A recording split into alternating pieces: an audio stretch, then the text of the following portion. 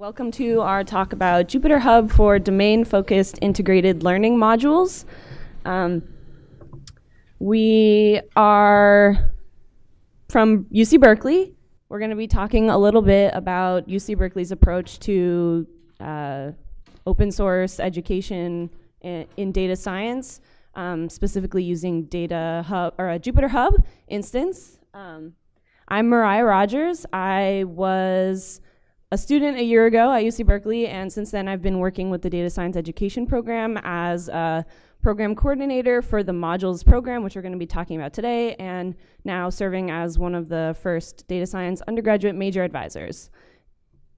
And I'm Julian Kudszus, and over the past two years, I've worked as a curriculum developer and as the curriculum development lead at the Division of Data Sciences. So what do we mean by a domain-focused integrated learning module?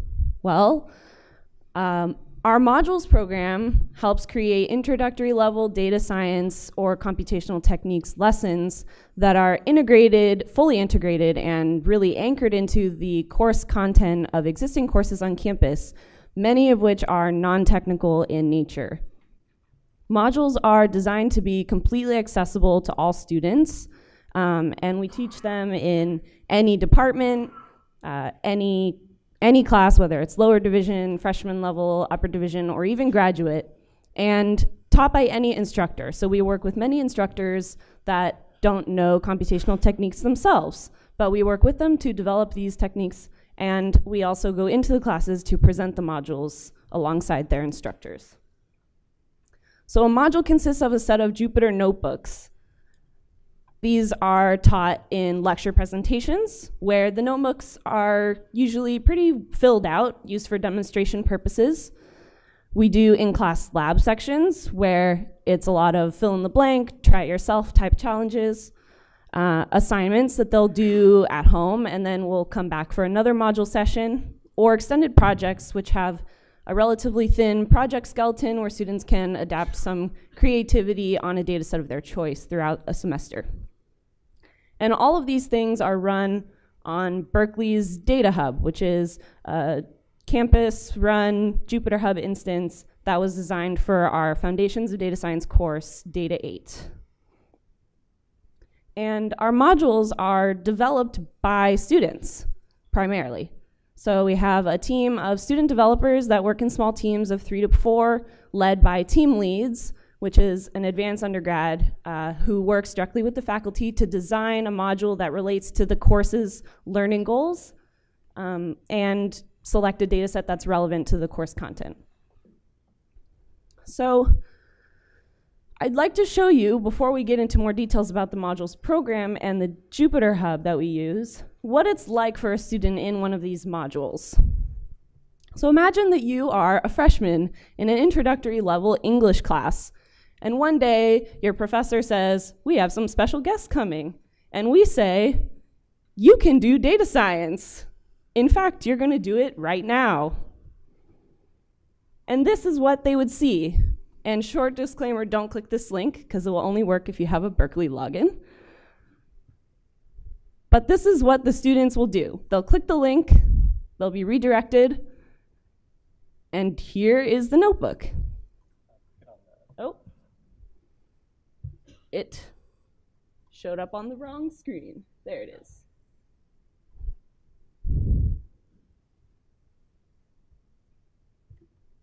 Let me do that again. Redirect. And notebook. Easy peasy. Okay, sorry about that. So that's all that a student will see when we come into their class for the first time. And within moments, they're up and running with a data exploration notebook of their very own. So in this English class, we go in once in the middle of the semester, and these students have already been studying some poems for several weeks, which were written by Chinese detainees on Angel Island. And these detainees have written poetry about their struggles on the walls of the barracks where they were staying. And students have been uh, individually, manually uh, conducting study of these poems for the themes, uh, etc. And within the span of 50 minutes, we were able to teach them basic computational techniques and demonstrate how to do computational text analysis and sentiment analysis of these poems on all 49 of the poems at once. So next I'm going to talk about the Jupyter Hub. And um, before I do that, I want to give a little bit of background about what uh, motivated us at Berkeley to make a Jupyter Hub instance for our, all of our classes. So Data 8, our Foundations of Data Science course, was developed by some faculty at UC Berkeley uh, with the motivation that computation should be accessible and relevant to all students. We can't assume any computing background, and we only want to ensure that everyone has high school algebra background of mathematical maturity. Um, students will be able to interact immediately with data by writing and running code. We can't assume that everyone has a personal computer, and we can't require them to figure out an installation themselves. This itself will factor into the student intimidation with computing, uh, the so-called command line tax, which we aim to mitigate with a data hub. So we've built a platform that students can build upon throughout their college careers by accessing course materials from all the courses that they've taken in one centralized location on our Berkeley Data Hub.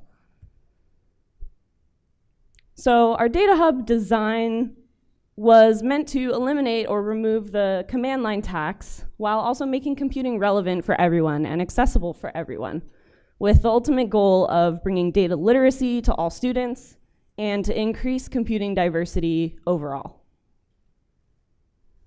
And particularly on that last green arrow there, have content that appeals to all demographics and is relevant in all domain areas is really what we focus on with our modules program. So with this design goal in mind, the faculty that designed Data 8 were trying to come up with a solution that would enable cloud-based computing, and they stumbled upon the first Berkeley Jupyter Hub, which was run by an instructor on campus that created essentially a Jupyter Hub before Jupyter Hub was really a thing um, for her cognitive science course, Computational Models of Cognition. She ported the course over from MATLAB to Python and set up essentially a Jupyter Hub um, where the students could log in with first GitHub authentication and then Google authentication and run Jupyter notebooks for her class. The Data 8 instructors completely duplicated this installation of uh, Jupyter Hub into the first Data 8 Data Hub. So this is kind of where we are now. Um, the Data Hub, I'm not going to go into too much detail about all the specific uh, architectural components of Data Hub, but focus on a few of the tools that are really essential for the module's workflow. So the authentication that was used at first on Jessica Hamrick's Cognitive Science Hub um, was with GitHub and then Google. And since then, we've been very fortunate to have a resident Jupyter Hub uh, developer, Yuvi Panda, who's giving a talk at this very moment as well.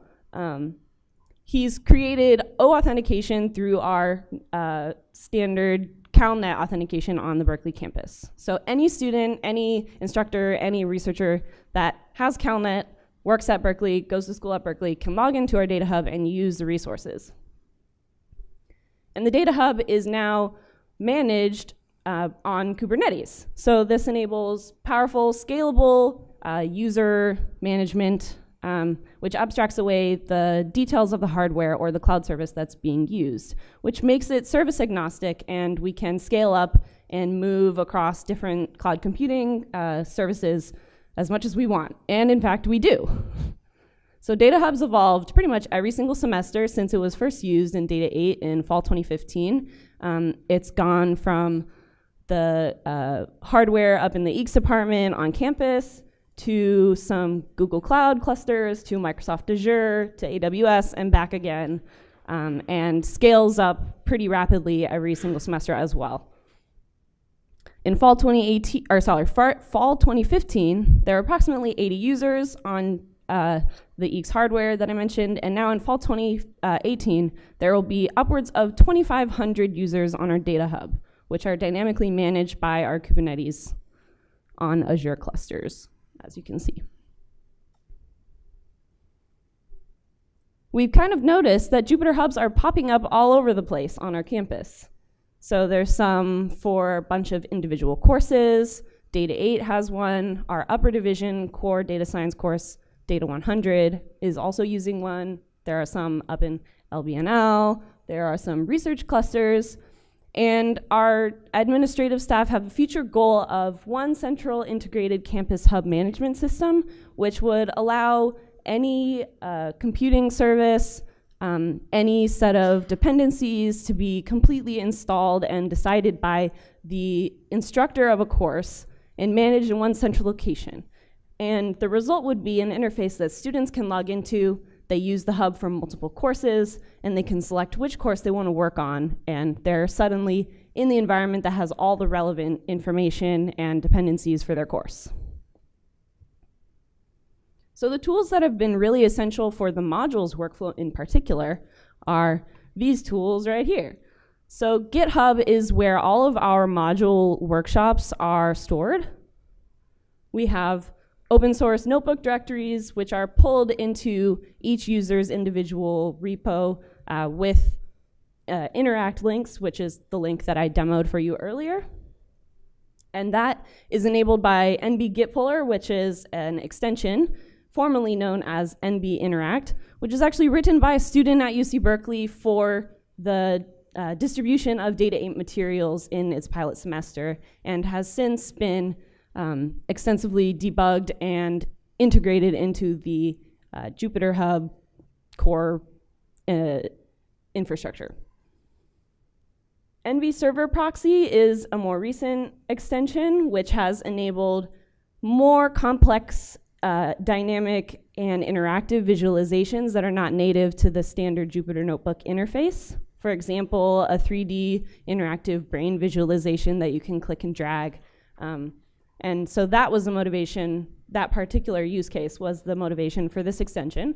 And then on top of that, we have NBR session proxy, um, which was motivated by several departments on campus not wanting to give up their use of RStudio, but wanting to have the power of the data hub. So we have essentially enabled you to run a full uh, RStudio instance in the browser, just like the Jupyter notebooks. So this is what that tiny URL that I showed you looks like underneath the tiny URL overlay. It has a basic structure, uh, the hub URL that we're working on. The account refers directly to the organization where all of our repos are stored, so the DS modules organization in GitHub. The repo refers directly to the course that we're working on, English 31AC. And the path field right now is empty because when I clicked that link, it took us to the top of the file directory for that repo. But if we ever wanted to teach a module where all we wanted the students to see was the notebook itself, then we would include the link to the, uh, to the notebook itself in the path. So Jupyter Hub enables a lot of functionality that just wouldn't be possible for our modules program. For students, they'll see a ready-to-go working environment the moment the class starts and not have to deal with any troubleshooting, um, the headache of installation, what goes wrong, different uh, operating systems, um, and not having to go out and find the files and download them into their working directory or the data sets or scripts that they might need to do their work. For the instructors and the administrators, um, Jupyter Hub enables a streamlined process of managing the users. We have dynamic load balancing that's done automatically by Kubernetes. We have shared compute and storage resources, so we don't have to worry about necessarily all of our memory being used up at one given time. Streamlined troubleshooting with administrators panel where any administrator can debug any student or other user's kernel issues and a consolidated and identical working environment for every single student so that we know they don't have necessarily a wrong version of a library. Um, and this definitely helps minimize the one-off errors. Overall, we have a streamlined experience that is essentially definitely essential for our modules program, which Julian's going to tell you more about in a minute. Um, so we have the centralized uh, control of library and dependency uh, installations, which is done once on the Data Hub, and then it's available for anyone anywhere on campus. One, or in our case, a few administrators who can have the power to break the prod. Um, and it's completely abstracted away the complications of the infrastructure from the students so they can see exactly what they need for their class to focus on the material and nothing else. But for those who want to do a little more, it enables the use of different kernels when needed without the installation or setup headache that often comes with learning a new technology and setting it up for the first time.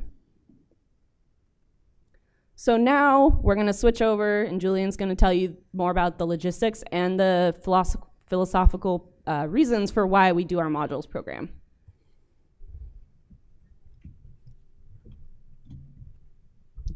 Thanks, Mariah. So we've already touched on some of the goals of the modules program, but I'm going to talk about some of the other motivations that we have. And um, one of those is reaching students across a wide variety of majors. So there are a lot of majors on campus that don't have any sort of programming or statistics requirements. And it's important to prepare these students for a data-rich world once they do graduate. We also want to make data science accessible. So by bringing lessons to students outside of data science courses and breaking down barriers to entry, one, by making the setup much simpler, and two, by providing a lot of resources for them, both inside of the classroom and outside of the classroom once the module is completed, uh, we want to make it simpler for students to get access to learning data science. We also want to encourage these students to take more data science courses. So we're doing this by showing them the value of data science in the context of their field of study. And we want to provide students with skills that are going to be relevant to their field.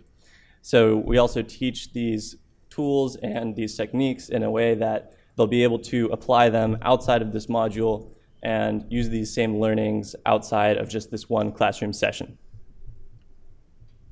So this is an overview of some of the modules that we offered during last fall. Uh, it's not a comprehensive list, but it's some of them. And I'd like to highlight a few things about this graphic. So first we can see we have quite a wide range of departments, uh, for example, psychology, art, and linguistics. We also see a good balance of upper division courses, the 100 to 200 numbered courses, and lower division courses, which are those two-digit courses. We've also worked with a few grad courses, uh, which are these 200 plus level courses, in the information and education departments. So in the past year, we've reached over 1,700 students with the modules program.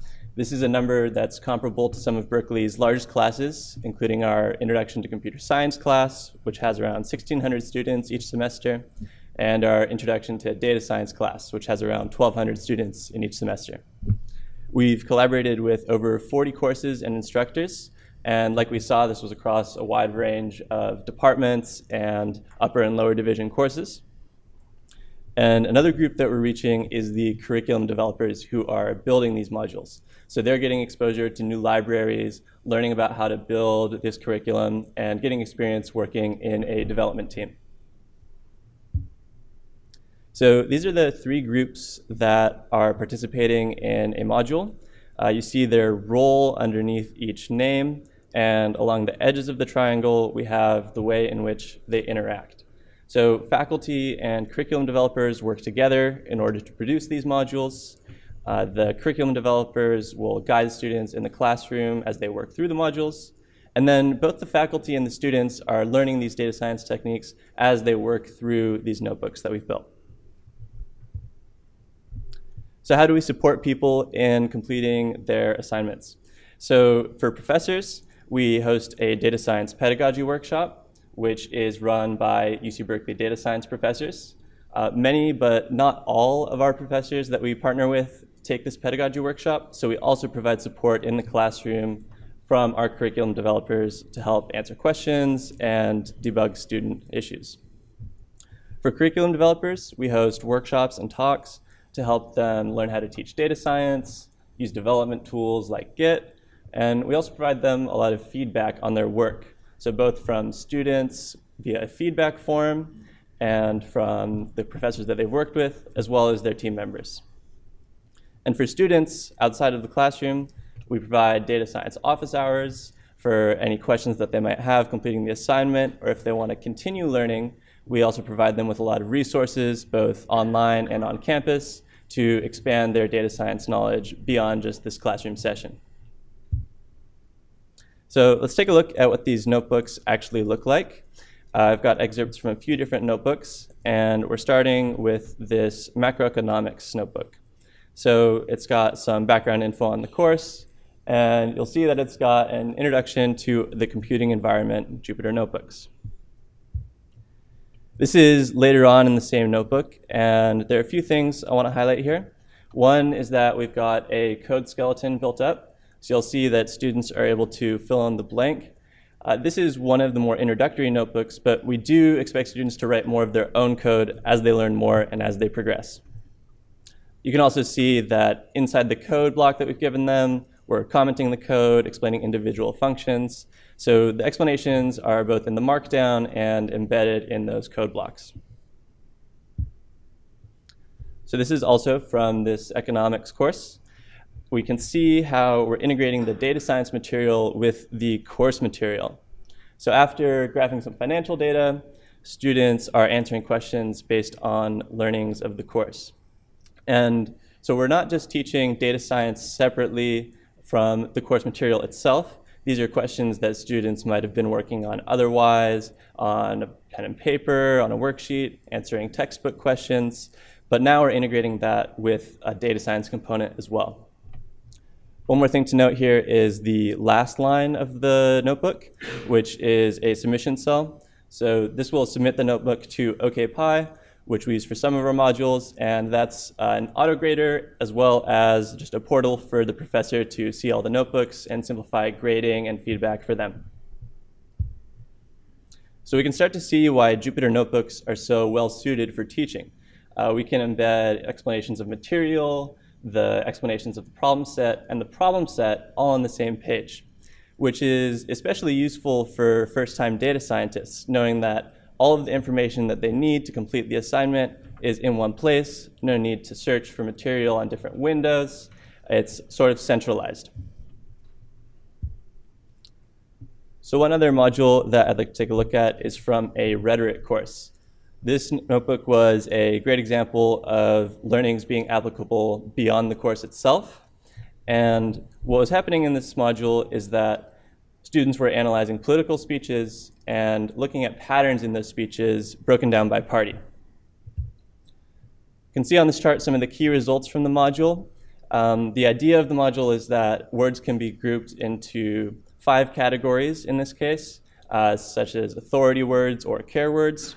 And you can see that Democrats and Republicans will use words from certain categories more.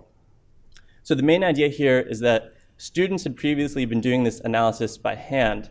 They had been looking at lists of words in different categories, reading through speeches themselves, and tallying up counts of words that fell into each category, which uh, the really limited the scope of text that they could process and read to just what a person can sit down and read in a single session.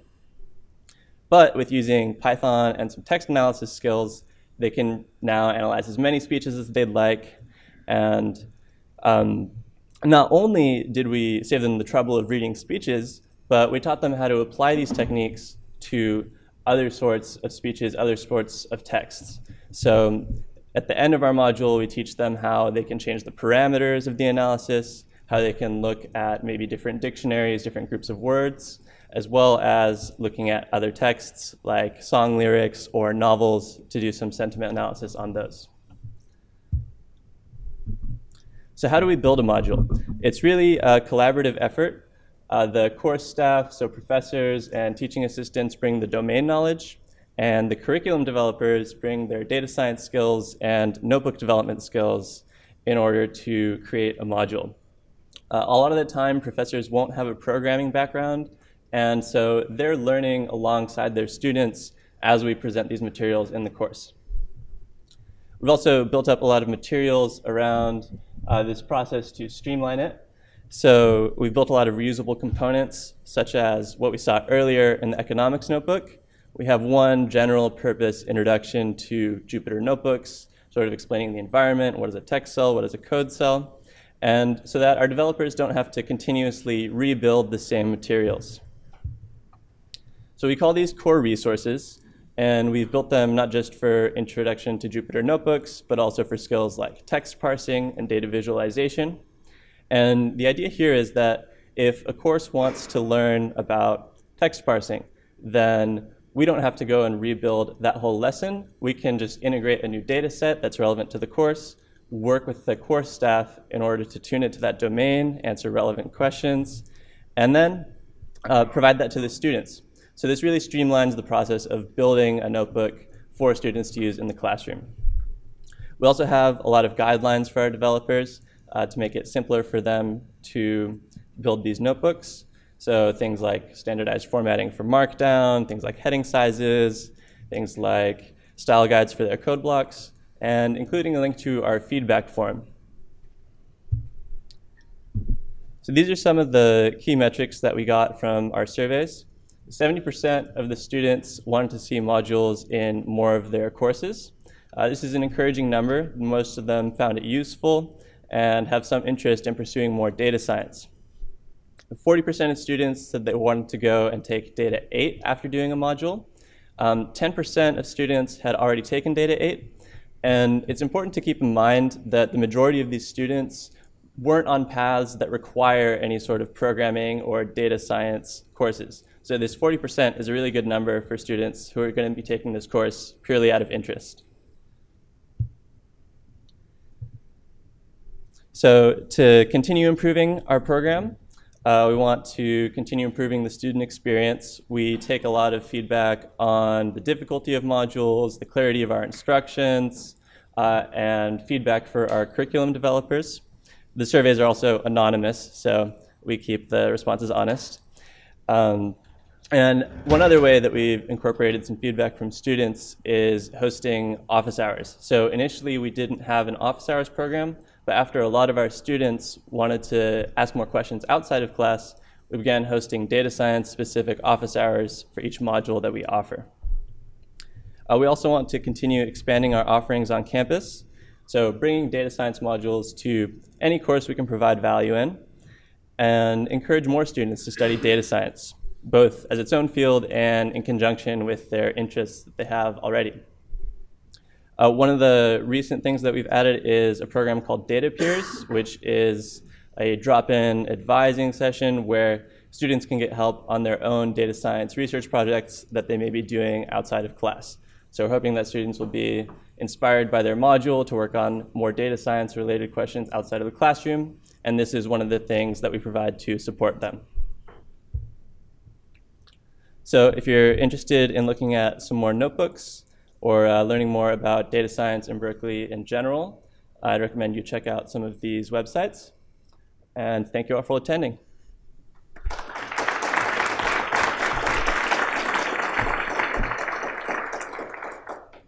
We got about five minutes for questions.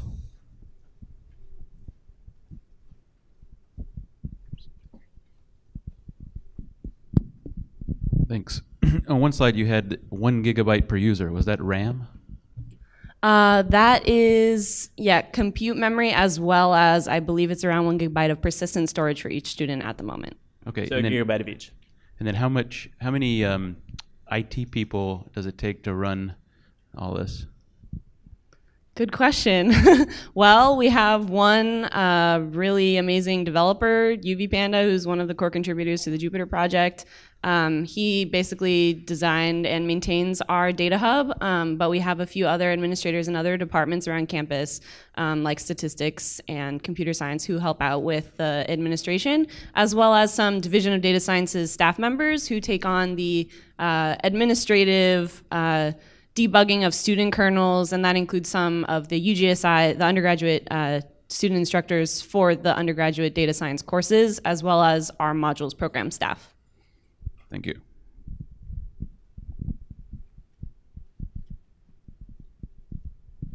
So I'm curious what kind of feedback you're getting from the 30% of students who don't want to see more of these modules. Like, is it of the form, I like the concept, but the logistics aren't quite there? Or is it more fundamental, like, I didn't sign up this for this course to program and I don't want to see any more statistics in here. I, I signed up to learn about poetry or something. Like, what kind of feedback are you getting? Right, so a lot of the students who don't want to see more modules also listed modules as being very difficult. So we find that that might be a problem with our material not being taught at the right level. Um, we integrate it really closely with the course material, so I don't think it's a huge problem with students saying, I don't want to learn this, I don't want to look at this, because it is, it is tightly connected with what students are learning already. But yeah, so it's, uh, it's about um, fine-tuning the difficulty of the module, some students uh, thought the module went on too long, maybe too many class sessions, things along those lines. To add on that, a few, we basically get feedback on both of those veins that you've mentioned. Um, some students think it's too easy or too slow um, because it is geared towards that introductory level. And of course, in every English class, there must be at least a few computer science students. Um, just kidding but in some cases that's that's how it ends up working out. Um, and in other cases they think it's too fast or too hard and they just simply don't want to do it. But we are hoping that having it more widely available uh, and that'll help make it a little less taboo a little less intimidating in the hopes that people will kind of overcome those fears and and gain data literacy Uh, thank you both for your uh, really great talk. I, I, really appreciated your time. Um, you've talked about the command line tax and also about abstracting the need to control environments from the students. Um, but you also talked about future goals of allowing professors and instructors to create bespoke environments for their course. So as an example, say I'm a student, um, I don't have a high degree of technological literacy, um, and I'm in a couple of courses that take advantage of the data hub. Um, say I learn a function in one course and I want to apply that to a problem that I encounter in another course. But the instructors have different versions of that package and um, all of a sudden that function doesn't work the way that I expected it to, the way that I learned that it does work. Um, is this just shifting the, the tax from the command line to an import line? Um, well, as we've mentioned that right now all of our modules and connector courses all work on the same data hub that Data 8 does. So for the most part, it's centralized and contained in that way. Um, and I don't know too much of the specifics of how the different hubs would work for the courses um, in the future goals. Um, that was, you know, described to me by our system administrators as what they're working towards.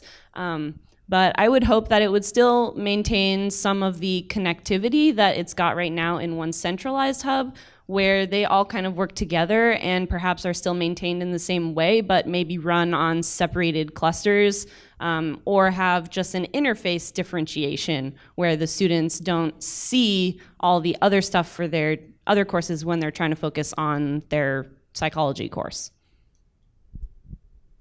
Have you guys planned to implement high availability for Jupyter Hub? Can you repeat the question? Do you guys plan to implement high availability for Jupyter Hub, like horizontally scaling the instance? Yeah, so we've had uh, up to 500 users at a time. Um, we think we could handle more, so it is auto scaling. Uh, but in terms of high availability, yeah, we have some courses like Data 8, which have up to 1,200 students who might access all at once as well as all of these other courses who are using their own data hubs. Um, we also have separate hubs for different uh, courses and different um, departments on campus. So for example, our business school has their own data hub, um, and the Data 8 class has their own data hub, and so on.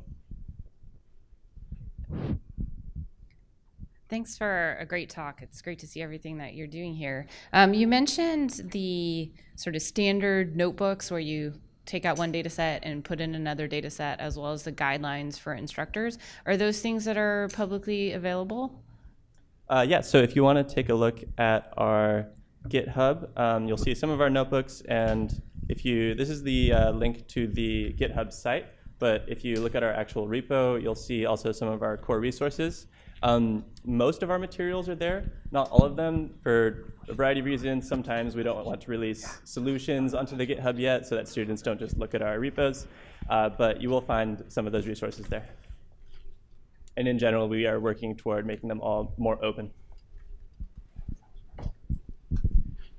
Please give me a round of applause for to our speakers.